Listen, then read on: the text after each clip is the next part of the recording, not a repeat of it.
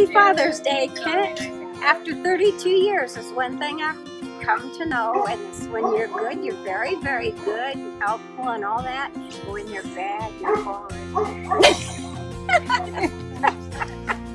So we're here to wish Kent a happy Father's Day, I guess. The father of Shy Wolf Sanctuary, one of the co-founders, and I just want to say that if it weren't for Kent, we wouldn't have most of these structures. And as much as we love to antagonize you and and and uh, give you a hard time, Kent, we love you, and we'll keep bringing you lots of dirty laundry to do with the animals, so that you always have a job. Rumper. He fixes absolutely everything. Uh, he's a real amazing guy. Uh, just want to say happy, happy Father's Day, Kent, and I love you very much.